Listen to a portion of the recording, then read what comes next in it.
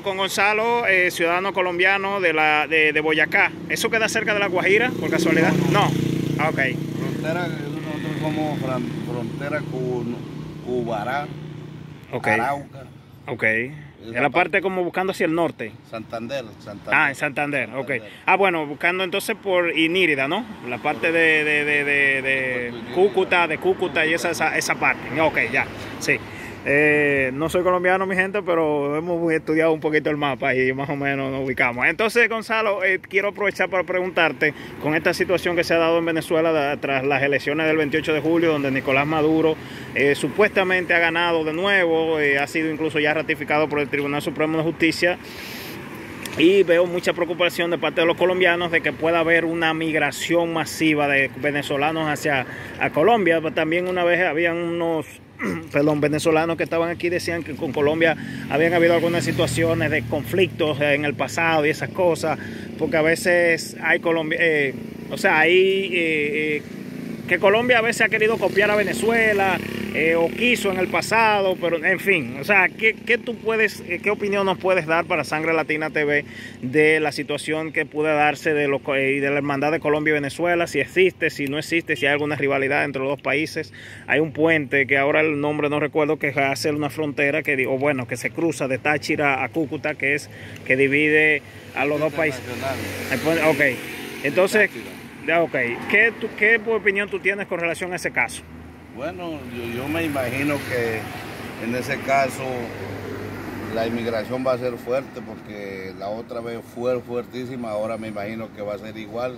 Okay. La gente migrando, tratando de buscar la salida, buscando beneficios. Me imagino que para todos los hermanos vecinos emigrarán, yeah. buscando mejoría.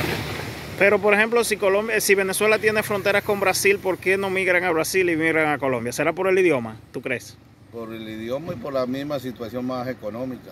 El costo de vida, el costo de vida es más, es más mejor en Colombia que en Brasil. Ah, también sí, tiene, tiene un eso, poco de... Claro. Sí, ok.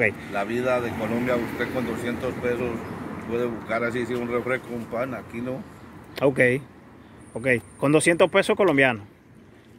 Y acá con 200 pesos. Ah, con 200 pesos dominicanos, que estamos hablando como de 4 dólares. 4 dólares. 4 dólares más o menos. Se come un plato de comida.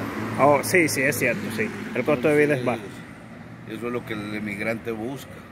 Ok, mejorías de condiciones sí, de vida. Señor. Eh, bueno, el presidente, eh, porque también a Colombia lo usan como cruce para llegar a Panamá y eh, atravesar sí, el tapón del Darién para de ahí ese, ir a Estados Unidos. Ese cruce del Darién ha sido muy, muy, muy fuerte y, y, han cobrado muy vida, mucha vida, mucha mucha vida. vida por querer irse por, querer, sí. por ese lado, pero no, esperamos que las cosas de Dios se mejoren. Ok. Bueno, pues nada, Gonzalo, para cerrar, eh, eh, ¿es fanático de algún equipo de fútbol colombiano? Normalmente allá, No, creo que Nacional y Millonarios, que son los más Nacional. populares, pero ok. Eh, ah, es fanático de la selección Colombia, como todo colombiano. Bueno, ahora tuvieron, fueron subcampeones de, de, de, Copa América. Para usted, ¿quién ha sido el mejor jugador colombiano de, la, de todos los tiempos? Bueno, Han tenido algunos buenos jugadores. ahora, ahora el mejor es James. James Rodríguez, sí, pero de los que pasaron ya, que ya no están. Eh, los que pasaron, Eh. René Guita fue una figura. Ah, le iba a mencionar, porque él está en una serie, en un documental de Netflix. Sí. Y un, es- uno que se, bueno, eh, el pibe Valderrama fue el que yo, El eh, cuando iba subiendo, que para mí que... El Pibe Valderrama, como Guita tiempo atrás, fueron figuras en el BUC. Ok, había uno creo que se llamaba Asprilla, que era apellido Asprilla, Sí, no, no, Asprilla. Asprilla. Y. Freddy, Freddy, Freddy Rincón. Freddy Rincón. Ajá, que murió creo reciente, Freddy Rincón le dio como sí. un sí.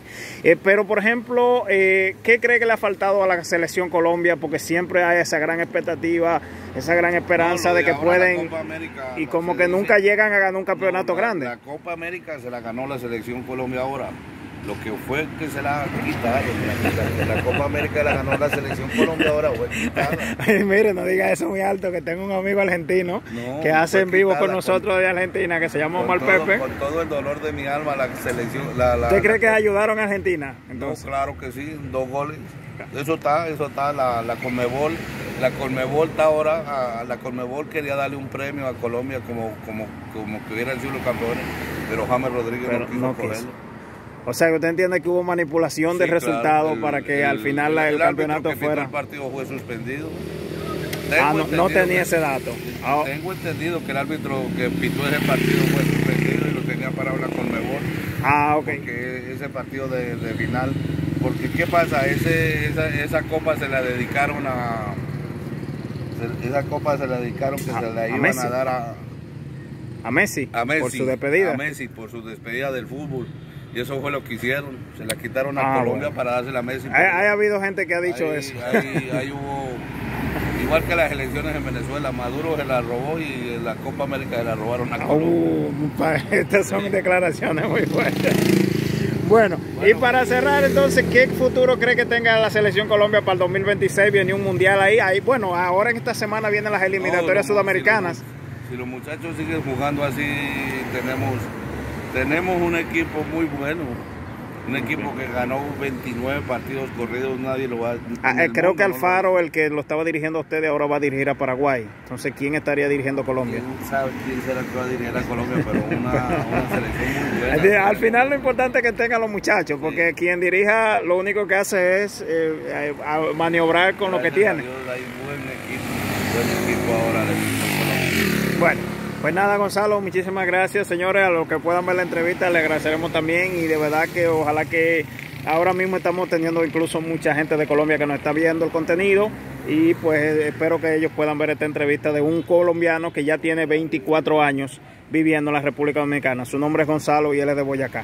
Un gusto, eh, Gonzalo, que haya estado con nosotros. Muchísimas gracias. Si quiere despedir o mandar un saludo a la gente de Colombia. No, estamos aquí. Bueno, pues. Ok, bien.